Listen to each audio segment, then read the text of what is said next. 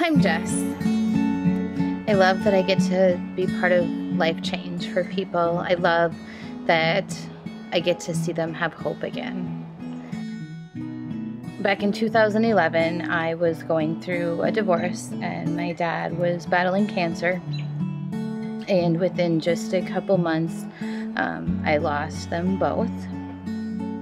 Very, very difficult time, life changing, two major life changing events occurring um, within just a couple months. And it left me quite broken, devastated, heartbroken, um, scared, and challenged, all of those things when you go through those kind of life challenges.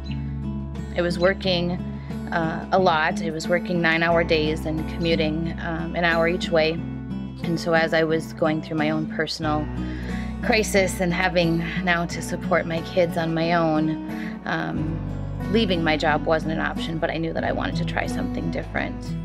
I have another friend, a coworker, who was my mentor at my last agency, and I remember talking with her one day. And she said, What do you want to do? What do you think you want to do next? And I said, I, I think I want to do ministry. I think I want to rally my community around a cause. Uh, I love to public speak, and I don't know what that means. I don't know how I'll do that. Labor Day weekend 2012, Pastor Kelly said, For anyone looking for a job, bring in your resume. We're going to pray over resumes this weekend. And so I, I don't remember exactly what her prayer was, but what I do remember her saying, the thing that sticks out the most, is she said, um, "Give them, give them a job that they're not qualified for." And that just stuck out to me. So in October, just a month later, uh, there was a job advertised in a local paper for an executive director of a local homeless shelter, a new agency that was starting up in Elk River. And I thought, boy, I have some of these qualifications, but not all of them, not really. So I sent out my resume.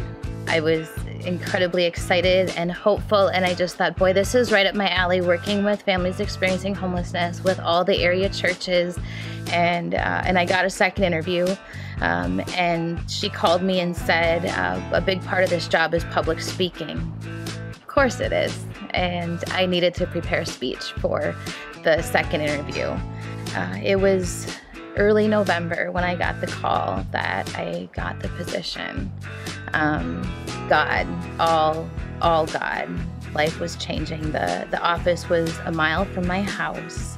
I was able to work back in my community uh, with my own church, with many churches.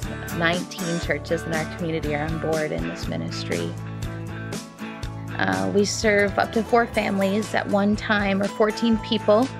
Um, and in what I like to say is it's not just a homeless shelter, it's a program. It's a place for people um, to get off the streets, to, to have a safe place to be with their kids. We only take families with minor children. Um, it's a place to start over again, get a lot of support, work through your goals, and, and housing is always our focus.